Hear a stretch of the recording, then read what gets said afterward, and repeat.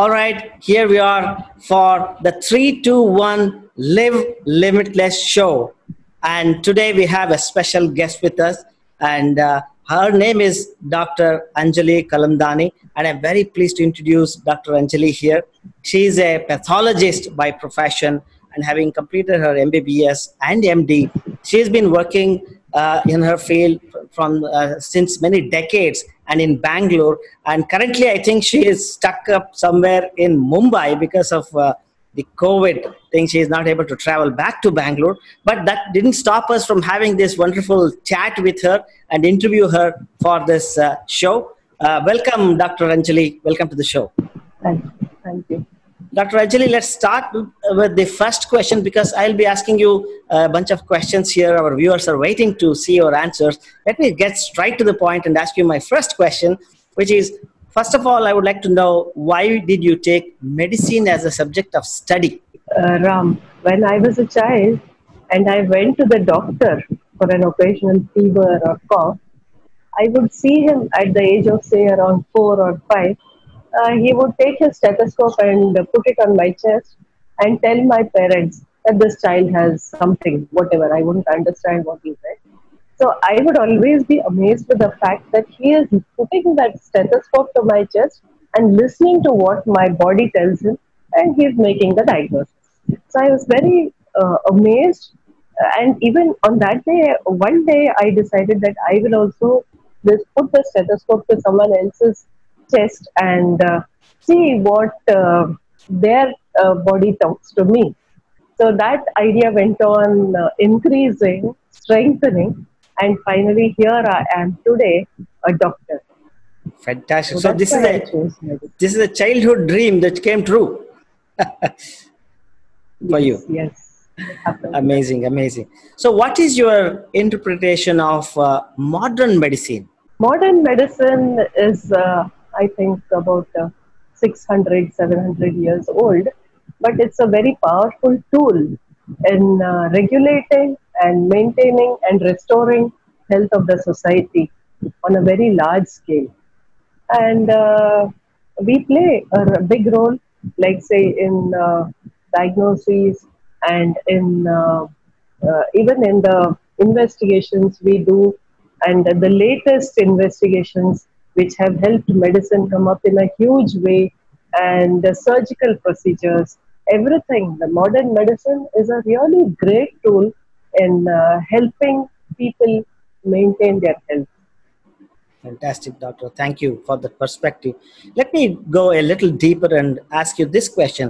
Um, is, do you think modern medicine like four 500 600 years old uh, modern medicine what we call as today is adequate in dealing with the health issues of today or of society today? Any health issue, I classify it under two categories. One is something which is inflicting us from outside, and one is something which is coming from within.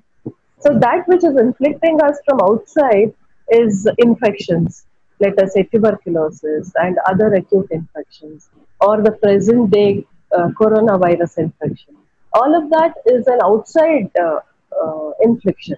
And there are some uh, diseases due to altered states within the body, uh, which happen, like let's say an altered immune system within the body. And uh, there are a lot of other chronic illnesses. So these two kinds of illnesses, whatever is there due to an outside infliction, our modern medicine has found a huge number of tools like say antibiotics and anti-inflammatory uh, drugs. All of them really help and uh, in uh, taking away the disease from individuals and from society at large. Even today as we see there are a lot of people who are working on developing vaccines against coronavirus. It is an infective disease and it will uh, find it, uh, the people will find cures for them. But there are some illnesses which arise due to alteration within the body, and that our ancient system of medicine, which we call Ayurveda, that is knowledge of Ayusha, that is life and quality of life.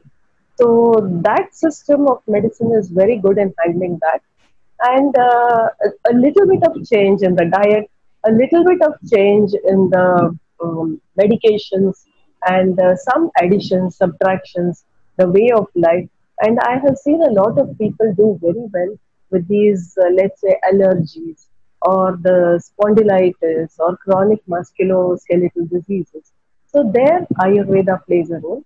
And by and large, since uh, the diseases of the population are um, infective or even, let's say, diabetes, etc., we are uh, more armed with medicines to take care of these diseases in the modern medicine system.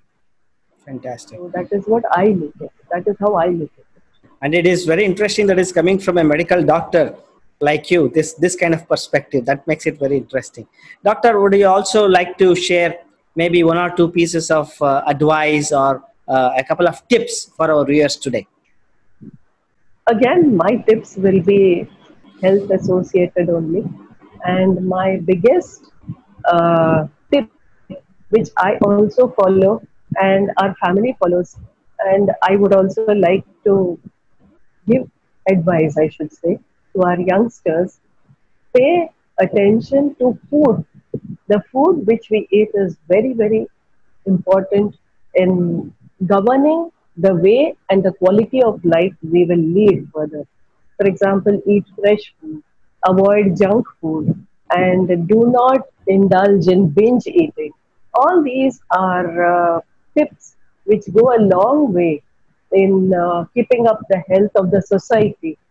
And uh, another tip which I would say as an Indian is that we should never uh, indulge in anything which will either make us feel ashamed of ourselves or that our country will be made to feel ashamed in front of the world. This is, of course, not related to my um, speciality, but then this is something I have very deep in my heart. Absolutely, so doctor. Absolutely, I agree. And see, uh, this brings this to my mind. For example, our cars, we take care and do not put any other fuel than it is built for. Let's say if it is a petrol car, we don't put diesel in that or kerosene in that and experiment.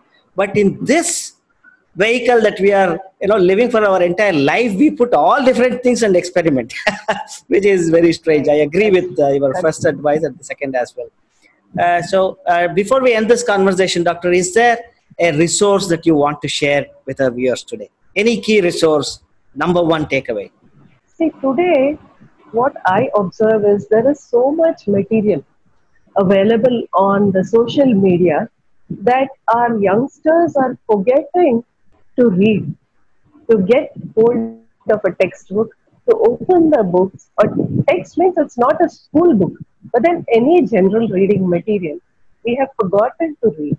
So the most important point which will keep our country afloat is a strong reading habit among youngsters.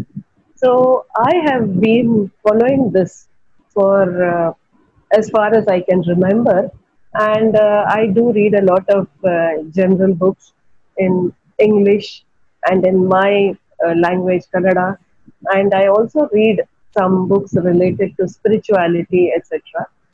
So, two books which I would like the English speaking children of today can pay attention to is one is I was very influenced by um, conversations with God by American author Neale Donald Walsch.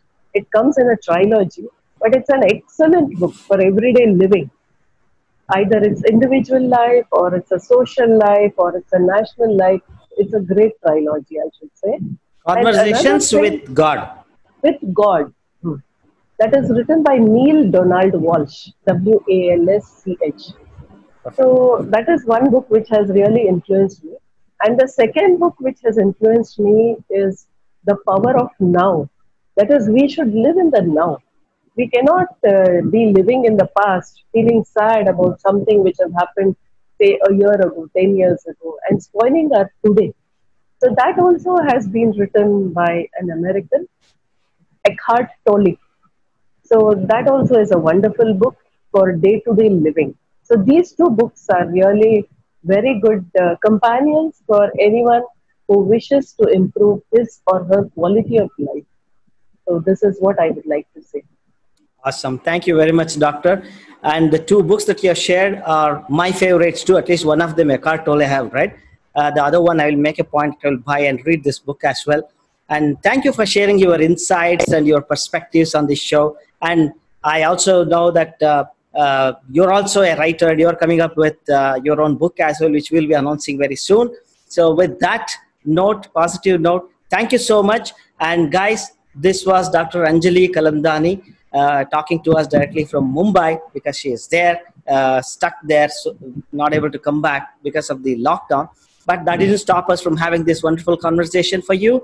Uh, Raam here, signing off for the Live Limitless show. Thank you so much. Thank you. Thank you, Raam. Thank you, viewers. I thank you all.